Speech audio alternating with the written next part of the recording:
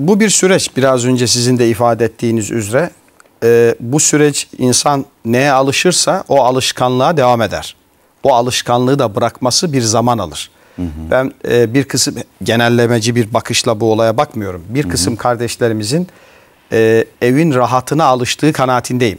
E, bir kısmını da evde bu pandemiyle sıkıştığını, sıkıldığını da biliyorum. Bir an önce bu işler düzelse de eskisi gibi bu konularda aktif olsak dediklerini de biliyorum. Dolayısıyla e, evin rahatına alışmış olan kardeşlerimiz şunu diyebilir.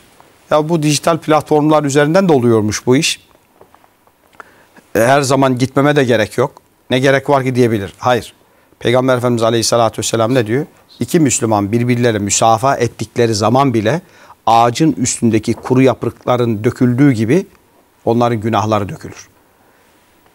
Camdan olan candan olan gibi değildir. Hı hı. Onun için biz zarurete binaen şu anda camdan iletişim kuruyoruz.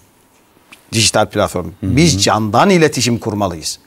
Candan iletişim kurarsak fiziki anlamda günahlarımızın dökülmesine vesile olabileceği gibi bizi biz yapan temel değerlerimizin etkin olmasına vesile olur. Onun için cami, cemaat, cemiyetle birlikte olma, e, tabanla birlikte olma, eğitim kurumlarımızda olma, müesseselerimizde, kurumlarımızda olma eskisinden daha çok bu işin sahipleneceği kanaatindeyim. Evet ufak bir süreç geçireceğiz belki ama hı hı. bunun özlemiyle eskisinden daha çok sohbetlerimizde olacağız. Cami sohbetlerinde olacağız, lokal sohbetlerinde olacağız, ev so erkam sohbetlerinde olacağız, rıdvan derslerinde olacağız. İş adamlarımız ihsan sohbetlerinde olacak. İş gençlerimiz abi kardeş, abla kardeş projelerinde olacak. Orta öğretim kamplarında olacak. Yıldız, e, efendim hilal kurslarında olacak, İslami ilimler kurslarında olacak, hafta sonu eğitim ve kurslarında olacak ve özellikle de e, aile ziyaretlerimiz, özledik şimdi birbirlerimizi, çok daha olacak. Bunu bir fırsat bileceğiz. Biz e, biraz önce ifade ettiğim üzere e, 5-10 yıldan beri aile ziyaretlerini ihmal etmiştik.